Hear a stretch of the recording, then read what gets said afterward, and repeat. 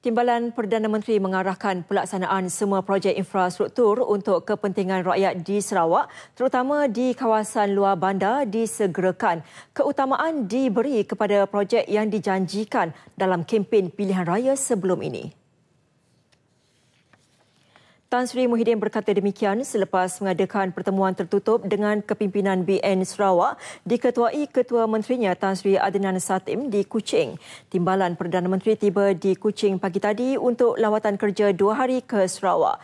Sebaik tiba Tan Sri Muhyiddin yang juga timbalan pengurusi BN mengadakan pertemuan tertutup dengan pengurusi BN Sarawak yang juga Ketua Menteri Tan Sri Adnan Satim. Ini diikuti dengan pertemuan tertutup dengan kepimpinan BN Sarawak.